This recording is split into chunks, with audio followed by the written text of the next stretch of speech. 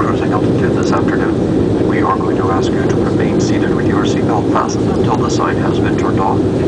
Once the seatbelt sign is off, we ask that you remain seated with your seatbelt fastened for the duration of our flight.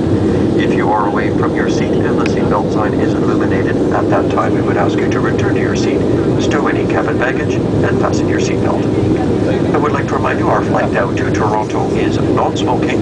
The in-flight service for you, we will be in the cabin offering a bar and beverage service. The price for alcohol from the bar is $6 Canadian with the exception of the Heineken beer product at a cost of $7. And ladies and gentlemen, effective May 1st, Air Canada is only accepting credit cards for all onboard purchases. And on this afternoon's flight, that does mean if you wish an alcoholic beverage, you must use your credit card to pay for it. In the meantime now, we invite everybody to sit back and relax. We should be touching down at Toronto's Lester B. Pearson Airport in approximately 45 minutes. Thank you.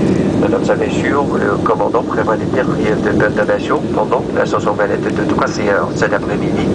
Nous allons vous demander de démarrer ainsi et de poser